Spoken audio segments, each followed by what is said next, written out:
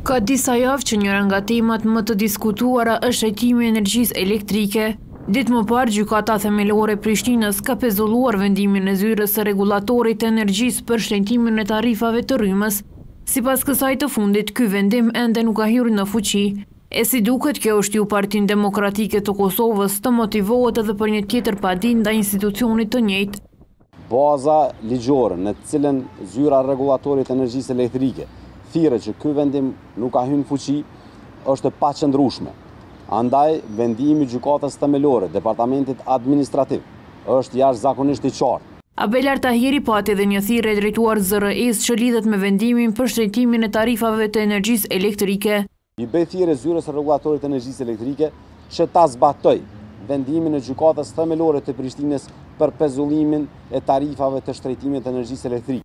Përndryshe, në rast të moszbatimit të këtij vendimi, i bëj thirrje Prokurorisë Speciale dhe ne do të angazhohemi po ashtu që të bëjmë padi penale për bordin e ZRRE-së, Vendimi i Gjykatës Themelore për pezullimin e shtrenjtimit të tarifave erdhi pas padisë së Partisë Demokratike të Kosovës që u dorëzua në këtë gjykatë,